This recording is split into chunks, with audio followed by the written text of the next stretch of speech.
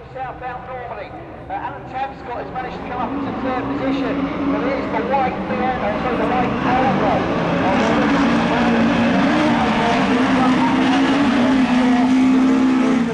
Some cracking race. The back end of the flapping around, but he manages to point in the right direction, gets the power down. And uh, the three of them then fighting for second position between uh, Josh Sturkin, uh, Alan Tapscott and Julian Godfrey.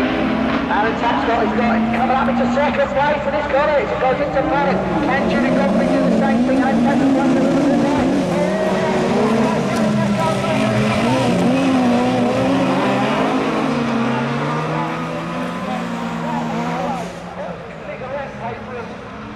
Not between them. And uh, that was close, very, very close to make up through. So the order is pretty much the same second place. But all the time they're fighting for it. Certainly what he's doing. So he's on the back of Julian Godfrey now as they go through the elbow for the second time. There was 3.9 seconds between first and second, and uh, Luke Morris just disappeared off into the distance.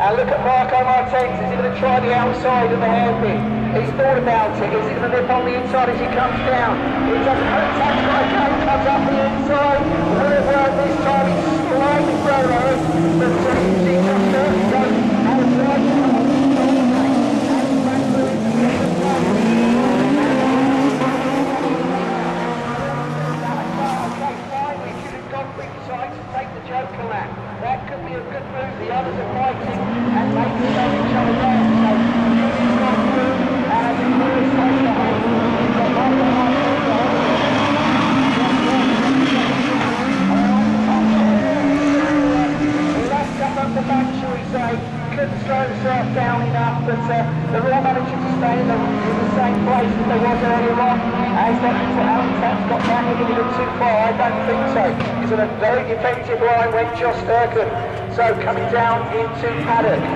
Is Alan Tapscott near enough? He gets really driving defensive as he comes down the hill. But uh, staying in the defensive line with Josh. That will probably help him. Again, the lead car doesn't take the lap. He's on that side.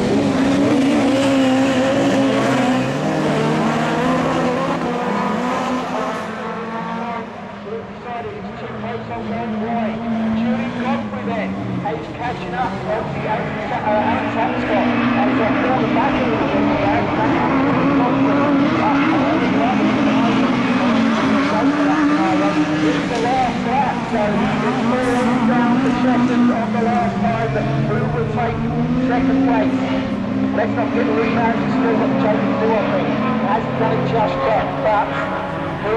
take second position?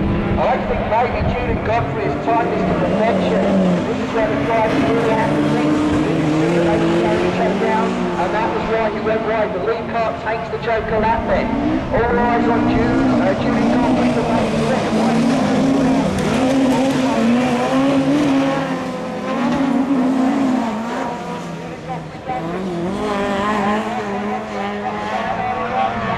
take second, and Josh Stark has actually out now. Tried the inside, it didn't quite work. As come across, he managed to take the